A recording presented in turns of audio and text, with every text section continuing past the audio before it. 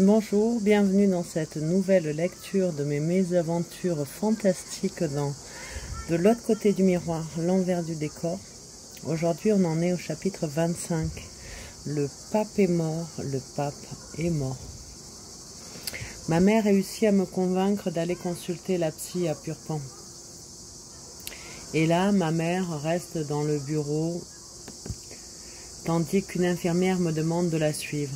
Là, on me fait enfiler une sorte de kimono avec une large ceinture blanche, ornée de deux gros boutons bleus, à vis comme des écrous.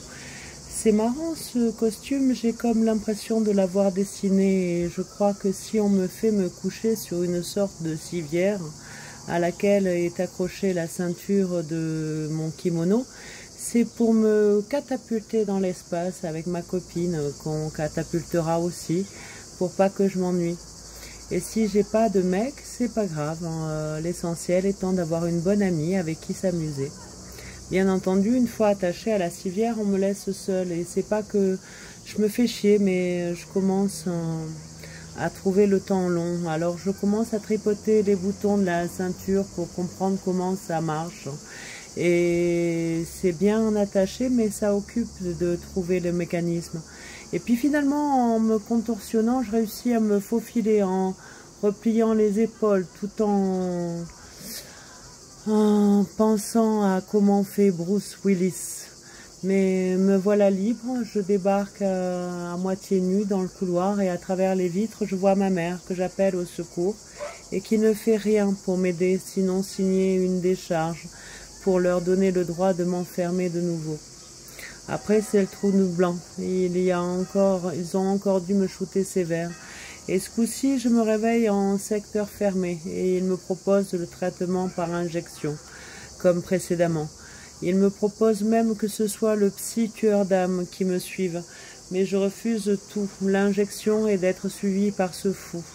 Alors je suis suivie par un autre qui a une tête de communion et qui met en place un traitement euh, qu'un jour à table mes médocs en main pour euh, les prendre. Je me mets à les examiner je détermine que l'un d'entre eux est un poison. Alors je le planque dans ma chaussette le temps du déjeuner avant de le jeter dans la cuve du réservoir d'eau des toilettes. Comme on a un atelier peinture dans le secteur fermé une après-midi, J'en profite pour en faire une belle de peinture, tout dans des teintes de marron auxquelles je mélange mon urine et grave quelques symboles cabalistiques pour offrir aux tueurs d'âmes. Secteur fermé, ça signifie qu'on est en vase clos de quelques patients et qu'on n'a pas la possibilité d'aller à l'extérieur de ces quelques chambres réunies autour d'une table de réfectoire et les sanitaires bien entendu, et les fenêtres ne peuvent pas être ouvertes plus de 2 cm. Du coup, ce que j'aime bien, c'est que j'écris. J'écris des déclarations d'amour à ma réincarnation d'Edvard Munch. Et c'est là que j'écris le poème où je me présente pour lui démontrer que je ne suis pas une sorcière. Facette. C'est moi la sorcière, tout droit sortie des enfers. J'envoûte avec des mots, car tel est mon lot. Avec de belles paroles, car tel est mon rôle. Je ne suis pas méchante, même si parfois cela me tente. Je connais des secrets, ils sont bien gardés. J'ai appris à me taire, à ne plus me laisser faire. Tu peux allumer mon bûcher, à moins que tu ne sois tenté par une expérience comme une danse, un état de transe. Je suis une croisée, une vraie tête brûlée. Je reprends ma lance et ainsi je m'avance. Je reprends le flambeau pour mes idéaux. Je suis une fleur au fond de ton cœur, pas encore éclose, à moins que tu n'oses sentir mon parfum, me tendre la main. Je suis une petite fille encore fragile, un papillon dans ton sillon, une fée si je t'ai fait rêver. Comme ça fait trois semaines que je suis là, il commence à se murmurer que je vais peut-être passer en secteur ouvert prochainement juste attendre qu'un lit se libère et je me retrouve dans un dortoir à côté d'une jeune étudiante euh, en archéologie un peu fantasque. Elle passe son temps à se changer et faire ainsi à longueur de temps des essayages qui en fin de compte ne la satisfont jamais. Il semblerait que cela fasse partie de sa pathologie. Il y a toujours ce cachet, celui en triangle, que je ne prends pas et que je jette aussi sous la, la bonde du filtre de la douche. Ça marche aussi. Au final, j'ai droit à une permission pour Pâques où je retourne chez moi. Je me chope à fumer une desperado à l'épicerie d'en bas. Ça me met bien. C'est comme si j'étais à cheval entre le réel et la quatrième dimension. Et j'ai mon carnet magique avec sa couverture en 3D de berlingots de bonbons dans lesquels j'arrête pas d'écrire des phrases qui me viennent en tête et qui riment les unes avec les autres, en association d'idées ou en sonorité.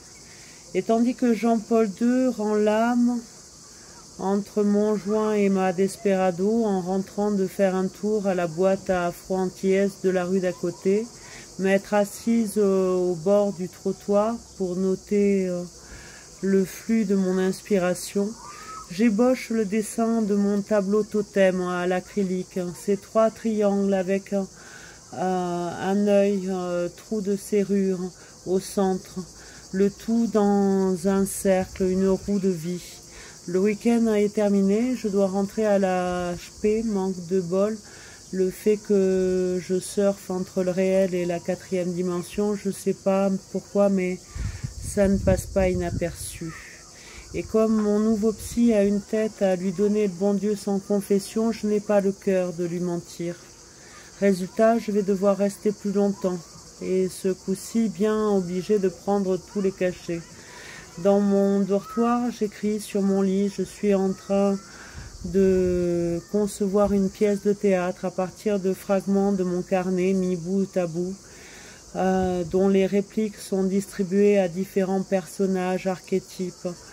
Comme euh, il y a une partie où j'ai rédigé un manifeste, j'appelle le projet Manifeste à une génération.